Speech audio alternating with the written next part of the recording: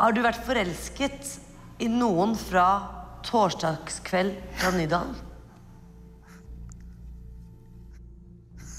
Du må si det på nytt. Få si det navnet på programmet ordentlig. Ja. Torsdag kveld fra Nydalen. Det høres ut som det er 80 år. Torsdagskveld.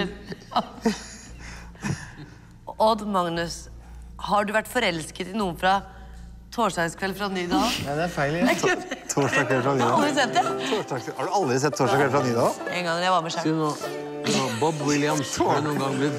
Torsdags. Hva heter det da? Torsdagskveld fra Nydalen? Torsdag kveld fra Nydalen. Oh, ja. God kveld, torsdag i ja. Hva Nydalen. heter det da? Torsdag kveld fra Nydalen. Okay.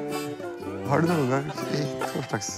Har du vært forelsket i noen fra torsdagskveld fra Nydalen? Du vet ikke hva det er eller? Hva heter det? Du vet det programmet som går torsdag, torsdag kveld? Har du noen gang vært forelsket i noen fra torsdag kveld fra Nydalen?